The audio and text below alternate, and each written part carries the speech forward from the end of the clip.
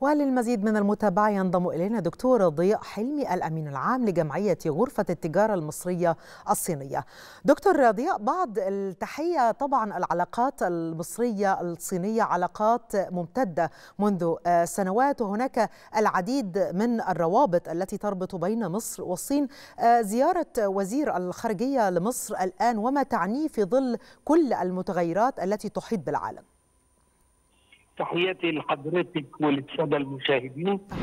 الحقيقة زيارة السيد وزير الخارجية الصيني هي امتداد للعلاقات الطيبة الاستراتيجية الشاملة بين مصر والصين والتي لم تشهد ابدا في تاريخها قوة ومتانة كما تشهد الآن في ظل توجهات الزعيمان فخامة الرئيس عبد الفتاح السيسي وفخامة الرئيس شي جين بينغ. وهذه الزيارة لها دلالة كبيرة بعد المؤتمر العربي الصيني الموسع الأول الذي عقد في الرياض وهو أمر يوحي ويعد بأن هناك تطور كبير في العلاقات الاقتصادية والاجتماعية والسياسية أيضا بين مصر والصين على كافة المسارات خاصة وأن هناك تحديات عالمية كبيرة. من المهم أن يكون هناك تضافر للجهود لغة مشتركة تتحدثها الدولتان الصديقتان ومصر دولة رائدة عربيا وافريقيا وشرق اوسطيا والصين تعلم حجم مصر الكبير في المنطقة والعالم. لذلك أنا أتوقع شراكة اقتصادية كبيرة تمام. وأتوقع وجهات نظر متطابقه في القضايا العربية العادلة وعلى رأسها القضية الفلسطينية. دكتور يعني ما تشير ليه حضرتك لا يعني فقط أن هناك تقارب في وجهات النظر تجاه قضايا عديدة لكن الحقيقة انه السنوات الأخيرة الماضية يعني شهدت تعاونا ثنائيا بين مصر والصين في مجالات عدة وخاصة على الصعيد التجاري تعد الصين أحد أكبر الشركاء التجاريين لمصر في الفترة الأخيرة. الحقيقة الميزان التجاري المصري الصيني تطور تطورا مذهلا وهو اقترب ولامس ال 20 مليار دولار خلال العام الماضي 2022 والذي ستظهر إحصاءاته قريبا. ولكن إحنا بدأنا من عشر سنوات وكان الميزان التجاري لا يزيد على 9 مليار دولار. كما أن الصادرات المصرية سيدتي تحتل مكانه كبيره الآن وزادت بنسبة تزيد على 36% من عامين إلى الآن على مقياس سنوي الصادرات المصرية إلى الصين في تنامي والتعامل والتبادل التجاري في تنامي والمشروعات الكبيرة المصرية المشروعات القومية.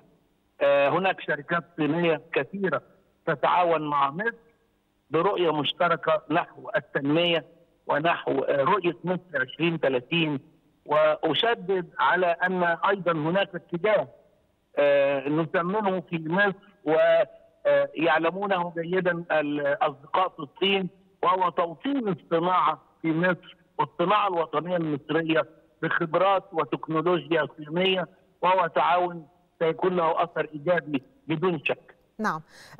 الصين فيما هو واضح في سياساتها الخارجية الدولية الآن هناك بعض التغيرات. حينما يزور وزير الخارجية الصيني مصر بالتأكيد وينقل تحيات رئيس الصين إلى سيادة الرئيس عبد الفتاح السيسي ويؤكد على دور مصر الإقليمي ودورها كمركز في هذه منطقة منطقة الشرق الأوسط. هذا يعني أن هناك الكثير من الاتفاق في وجهات النظر حيال القضايا القضايا الدولية المختلفة. دي حقيقة يا فندم وقد لمسناها في أول مرة تدعى مصر إلى اجتماعات مجموعة قمة العشرين قمة مجموعة العشرين وكان فخامة الرئيس عبد الفتاح السيسي حاضرا وله كلمة متميزة ورأينا هذا مباشرة هناك في مدينة هانجو واستقبل الرئيس استقبالا لافتا. أيضا هناك شراكه استراتيجية شاملة في الزيارة التاريخية للرئيس الصيني شي جين بينغ للقاهرة. سبع زيارات من الرئيس السيسي إلى الصين. زخم كبير من العلاقات القوية المشتركة القائمة على المصالح المشتركة والقائمة على عدم التدخل في شؤون الآخر واحترام ثقافات الآخر. ولقاء الحضارات المصرية والصينية وليس صراع حضارات.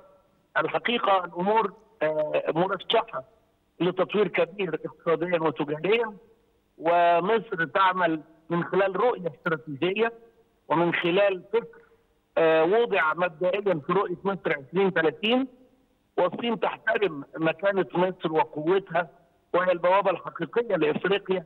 تاكيد ووزير الخارجية الصيني استهل أول زيارة له خارجية على مدار 33 عاما.